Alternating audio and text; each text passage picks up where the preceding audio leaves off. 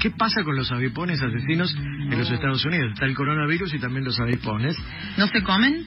Eh, no, ha habido ataques y también defensa de, de abejas que han destrozado eh, los lugares de las avispas, ¿no? Como Sí. para defender. Imágenes de, de personas atacadas también Sí. por, por estos. Ay, sí. Estos son avispones que son grandes. ¿eh? Piensen en Como que qué, entran, ejemplo? entran cuatro avispones en, en la palma de una mano. ¡Wow! Tu manito es muy chiquito. Bueno, en la mía tres. pero, pero en una mano más o menos usual, Cuatro. Claro. Ah, pensé que eran más grandes. Bueno. pero son grandecitos y son muy venenosos. Sí. Bueno, están así que hace ¿Los pocos los días- comen? Sí, me parece que no. Se viralizó un video en el que uno de los avispones mata y arrastra a un ratón que lo triplica en tamaño. ¿En serio? Ah, bueno. El Capaz que el aguijón como que lo deja adormecido al ratón. El video es del año 2018, pero cobra relevancia ahora en que en Washington está alerta por la plaga que eh, eh, se, se está ocupando de, de, digamos, la cabeza de toda la gente que está diciendo no me entre un avispón. El que es especialista en esto es mi sobrino. Él ¿En sabe qué tipo de avispón debe ser, todo. Sí, sí.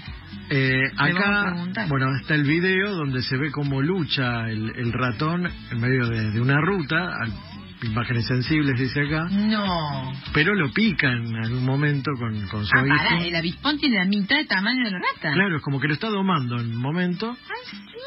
Y después logra picarlo, pincharlo con, con bueno, el aguijón y después se va. No te puedo creer. La avispa mandarina está alertando a todos los especialistas por bueno que hay muchas denuncias de que ya está llegando muchos de estos es- especímenes a los Estados Unidos Sí. y ahora se viralizan este tipo de videos. También hay uno que, que lucha contra un, un Ah, alacrán. Está comprobado que no importa el tamaño, No, sino la ferocidad.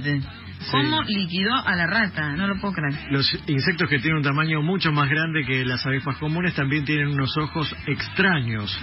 El descubrimiento de su llegada a los Estados Unidos dio porque abejas sin cabeza estaban apareciendo y parece ser que es una de las de las características de estos avispones que matan a sus víctimas y les cortan la cabeza. Ay, por favor, aparte son macabras. Yo estuve leyendo de unas arañas que son, yo soy aracnofóbica mal, en Alaska, una araña que es gigante y que ahora parece que, eh, como hay poca alimentación por debido al cambio climático, es una araña, eh, no me sale la palabra, caníbal.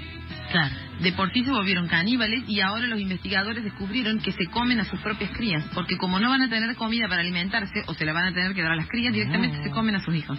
Yo tuve, tuve hamsters cuando era chica y el hámster ¿Se come? comía el lo vi-.